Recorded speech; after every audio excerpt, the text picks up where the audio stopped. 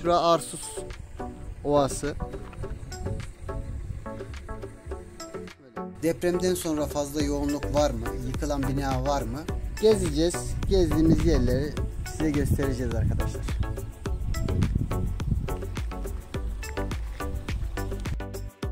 Çekimimize kafeteryanın o taraflardan başladık. Etrafta fazla bir yıkıntı yoktu. Ee, zaten Hatay'a nazaran Arsus'ta o kadar fazla bina yıkılmamış. Sadece %20'si gibi bir miktardan bahsediyorlar. Yıkılan bina olarak. Aşırı kalabalık da yok. Önceden buralar çok daha kalabalıkmış. Görünmüyor ama sağ tarafımızda nehir var. Nehirin etrafından dolaşıp çarşıyı gezip evimize gideceğiz arkadaşlar. Siz de etrafa bak depremden sonra Arsus'un e, çehresini görebilirsiniz. Kanalımıza abone olup beğenmeyi unutmayalım. Herkese iyi seyirler.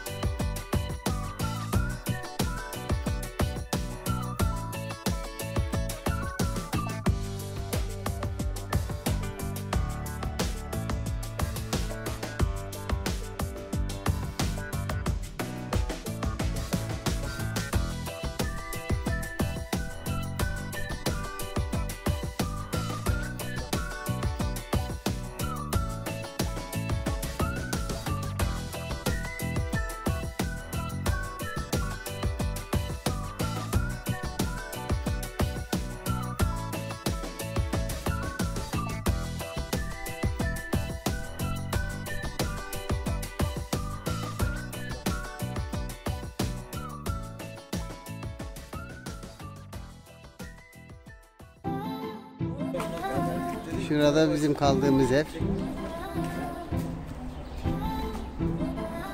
Buradan da mı giriş var?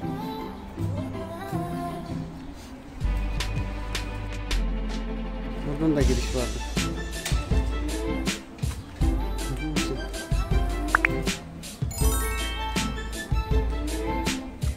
Benim araba. Ne bileyim.